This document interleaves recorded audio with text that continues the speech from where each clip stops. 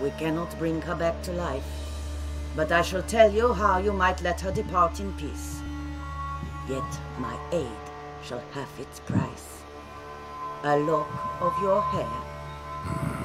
How can I know you won't use it to cast a spell on me?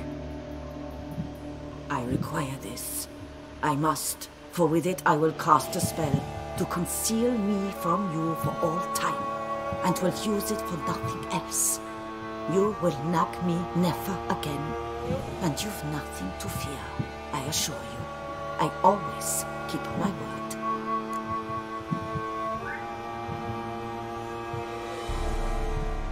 I'll trust you against my better judgment. Lock of my hair's yours.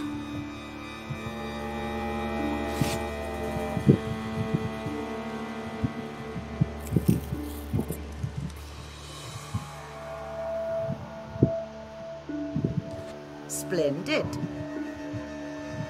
What do I need to do? You must convince the maiden her beloved yearned to return, but perished in the attempt. Take her silk kerchief and a fragment of Gareth's remains. His bones lie bleaching in the cave beneath this rock. Fire must consume the kerchief and remains.